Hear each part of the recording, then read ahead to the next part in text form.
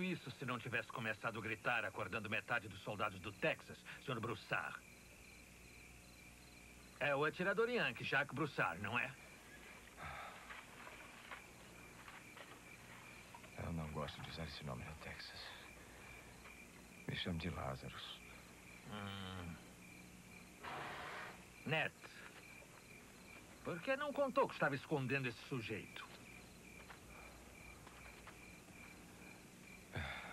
Ele não sabe quem eu sou. Escolhi esse lugar ao acaso. Pedi a ele e a família para não dizerem a ninguém. Eu senti que essa cidade não era segura para ficar. E o que vi lá esta manhã confirmou com todas as letras. É. Eu teria ficado no lugar do seu sobrinho se pudesse. Aqueles cretinos. Andy Rance só tinha 15 anos. 17. Isso mesmo, 17. Ninguém melhor do que um parente para saber a idade certa de alguém. Meu nome é Tom Halloran.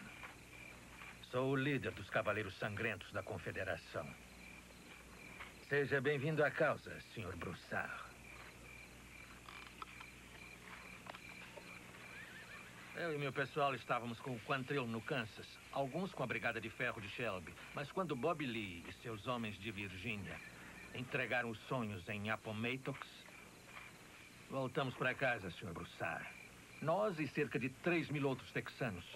E quando eu e meus homens mostrarmos o furacão que uma dúzia de homens pode fazer, vão voltar correndo e lutar para tornar o Texas uma nação independente de novo. Agora sei que foi pago. O Andy me contou antes de pegarem ele que contratou você de volta. Então, tá pronto para acertar um golpe bem no coração negro daqueles Yankees? O que quer que eu faça?